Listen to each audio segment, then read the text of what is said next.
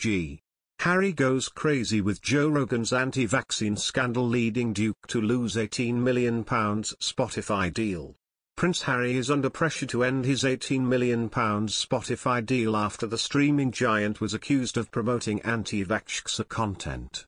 Harry, 37, is set to release podcasts on the same platform as COVID jab skeptic Joe Rogan. Yet just four months ago the Duke of Sussex hit out at news and social media outlets for peddling lies about vaccines. He claimed the only way to overcome COVID-19 was to break the system of misinformation. The Joe Rogan Experience is Spotify's most listened to podcast, but The American has suggested young people don't need the COVID vaccine. Last night a source said of Harry, refusing to cut ties with Spotify after they've aired anti-vaxxer material is incredibly two-faced. If he was that principled, and meant what he said, he'd cut ties, even if at a personal financial cost. Last spring, Rogan suggested that young, healthy people should not get the vaccine, telling one listener, if you're a healthy person, and you're exercising all the time, and you're young, and you're eating well, like, I don't think you need to worry about this. Rock veteran Neil Young, 76, has demanded that Spotify, which has 172 million subscribers, withdraw all his music over its ties to Rogan, 54. In an open letter, since deleted, he slammed the giant for spreading fake information about vaccines. Neil Young's threat to pull his catalog is only the latest predictable consequence of spending $100 million on the popular, controversial podcaster. On Monday, Neil Young handed the streaming service Spotify an ultimatum in the form of an open letter.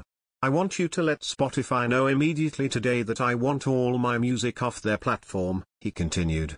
They can have, Joe, Rogan or Young. Not both. Young, a polio survivor, is at odds with what is Spotify's most important exclusive podcast, The Joe Rogan Experience, which has increasingly come under heavy criticism for spreading misinformation about COVID-19 and, in particular, vaccines.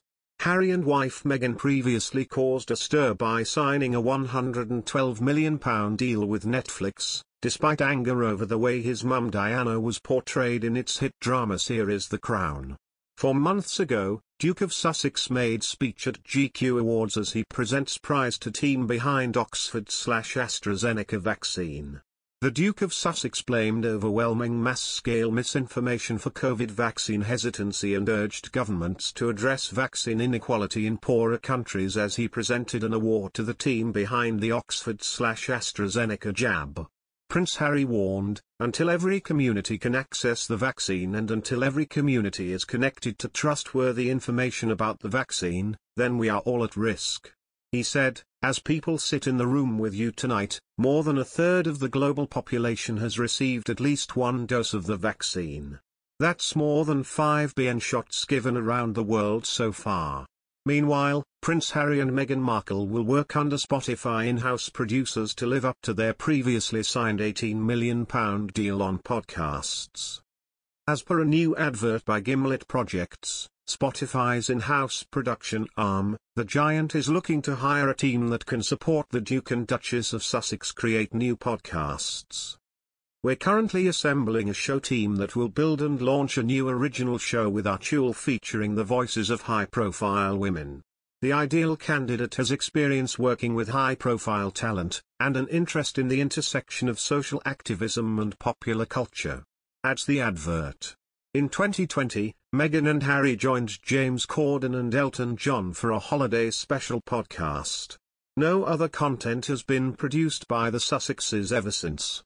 A source told The Sun, Spotify has been waiting a long time for some content from Harry and Meghan and now it appears they have finally taken matters into their own hands.